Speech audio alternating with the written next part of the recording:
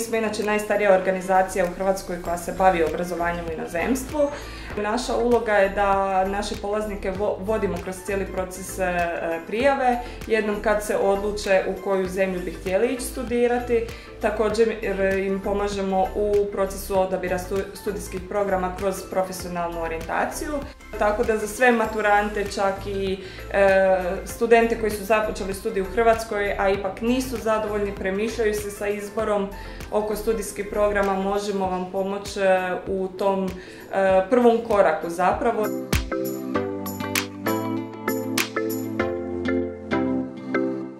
Što sam se bližila više kraju srednje škole, to sam svačala da zapravo ja sama ni ne znam što točno u Hrvatskoj me zanima, a i svi oni stariji od mene i brat i sestra koji su prošli kroz sve to nekako nisu bili zadovoljni, nisu bili ispunjeni sa, sa tim obrazovanjem koje je njima bilo pruženo u Hrvatskoj. Eto, jednostavno jako me, jako me privlačila ta Skandinavija e, i da evo, e, sad sam studirao marketing management i jako mi se sviđa stvarno. E, od, od studija samoga do, do zemlje.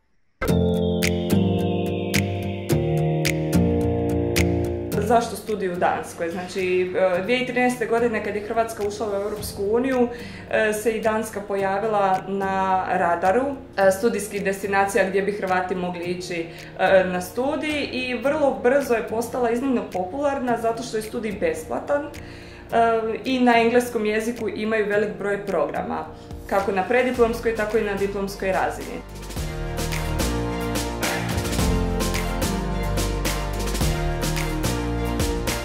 You're a lot more active in the in the class. You don't just sit, turn up, and listen to a lecture for an hour or two.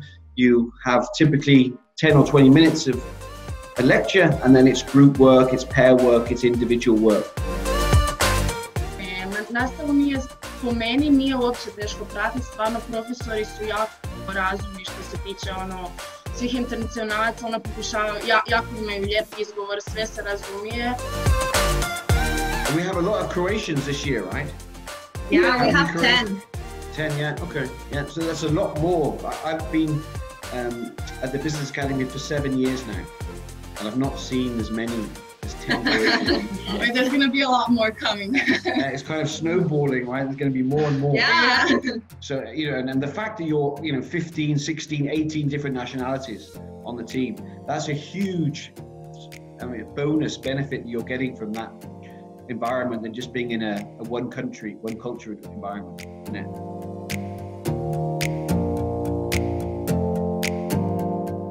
Kad dođete, vidjet ćete ljudi se stvarno žele povezati s vama i žele napraviti tu neku community i imati jednostavno biti jedni drugima pomoć i podrška. Ne budete sami. Da, ne, nećete biti sami. ja mislim da smo se mi dosta prilagodile na Dansku i ja. Baš ono uživamo tu i ne znam, ono, počnite se osjećati dobro, mislite da kao ono, na početku možda nekome bude teže, nekome lakše, recimo ja nisam imala neugodnih iskustava i doslovno ne mogu reći da sam u jednom trenutku zažalila što sam došla. Cure, bile ste super! Hvala. Hvala vama stvarno što ste nas i pridružili, što ste nas istrpili do sad. Evo. Um, nadam se da smo vam pomogli sa svime. Hvala vam puno. Vidimo se. Ćao, pozdrav.